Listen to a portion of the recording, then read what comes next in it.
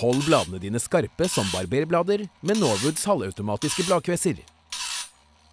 Skarpe blader er avgjørende for å lage kvalitetstrelast.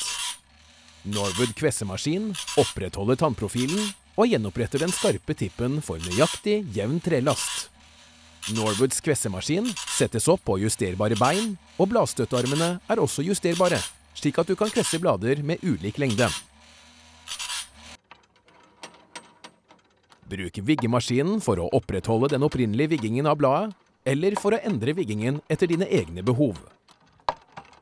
Norwoods viggemaskin kan kontrollere viggingen av bladene dine, og hvis det trengs, kan den gjenopprette viggingen alltid en effektiv operasjon.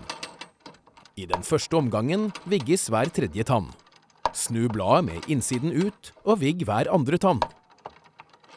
En tann, rytteren, skal være rett uten vigging.